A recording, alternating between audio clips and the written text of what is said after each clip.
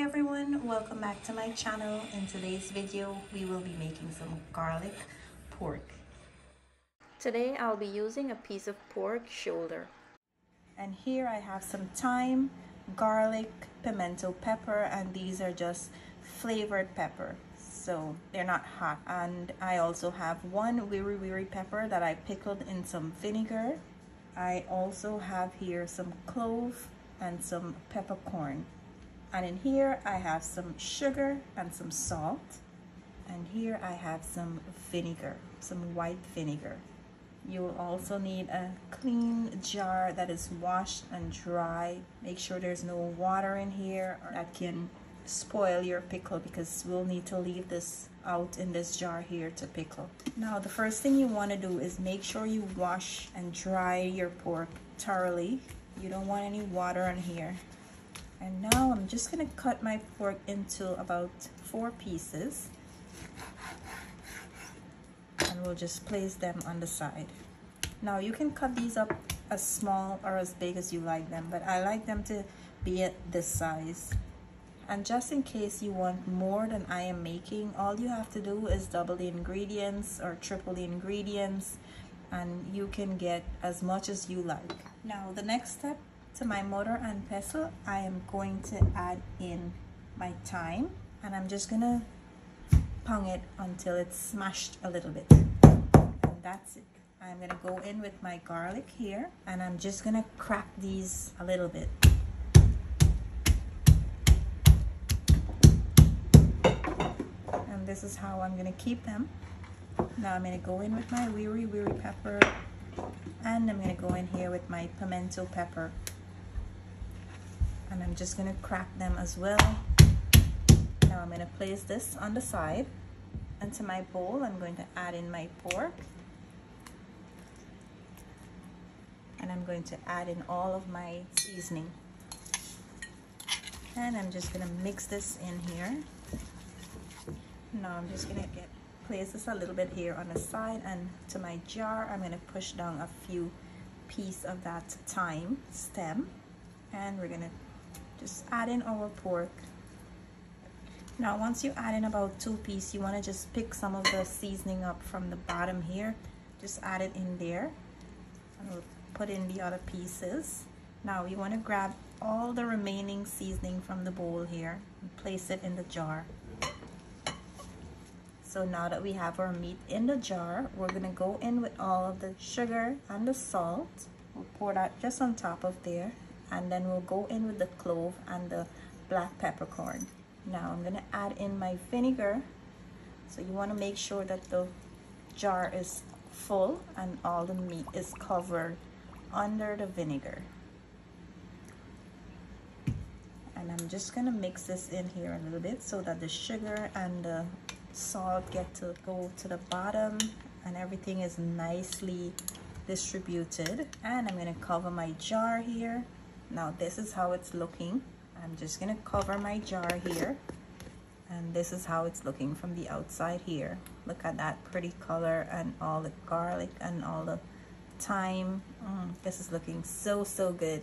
So now that we have everything in the jar we're just gonna cover it. You want to make sure that you cover it really tight. No air should be getting into the jar or no air should be coming out of the jar I am just going to cover this here now and place it on my counter and I'll leave it there to sit on the counter for about three days before I can start using it. Now, if you are scared to leave this out on the counter, you can put it in your fridge, but you will need to preserve or pickle it for about seven days in the fridge. When it's out of the fridge, it tends to pickle or cure faster than when it's in the fridge. The process will slow down. So usually if I keep it in the fridge, I will leave it for seven days. And if I'm keeping it on my counter, I will leave it for about three to four days. Now it's up to you. If you like a garlic pork that is very strong in flavor, you can leave it for about seven days even on top of the counter just make sure when you're pickling your pork, you dry it thoroughly. You don't want any water on the pork, any drippings of that sort. So right now, this is all good here.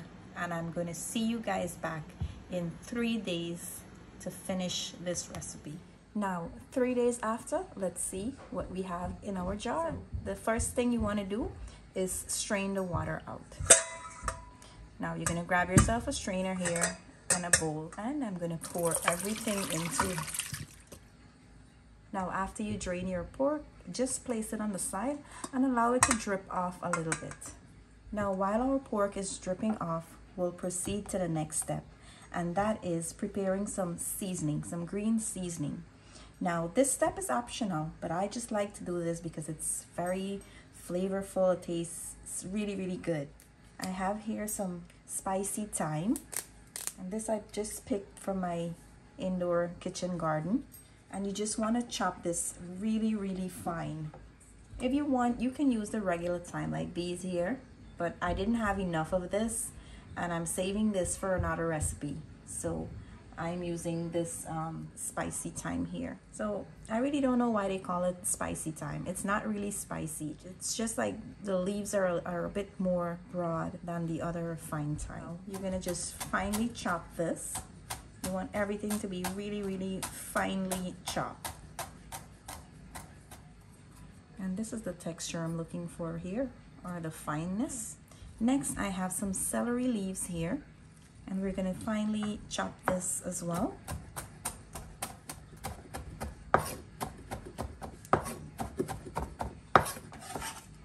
And we're to place this in the bowl here. I have two pimento pepper guys. This is just flavored pepper it's not hot at all. And you can use as much as you like. Now I am to chop these finely as well by chopping this here you can smell how high the flavor is. We give your food a really nice flavor. That's one of the reasons I always use pimento pepper. You would see me using pimento pepper. To my garlic press I will go in with two large cloves of garlic. And I'm just gonna mince this here in my bowl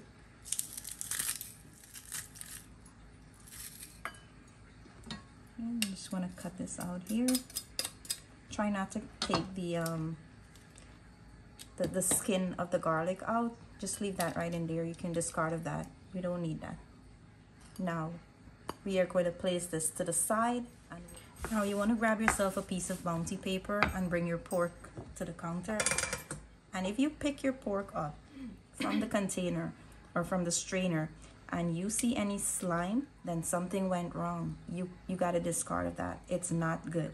It rarely happens, but just in case, just in case, I want to make sure that you know if you're seeing any slime there, it's not good. You have to discard of it. I am going to um, dry them and we'll place them on the side here.